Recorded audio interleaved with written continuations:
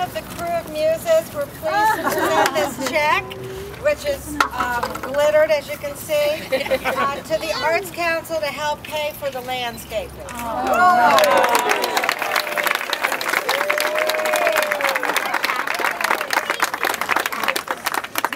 And now, um, I would like to introduce Eric Strawn, representing Council District B and Stacy Head's office.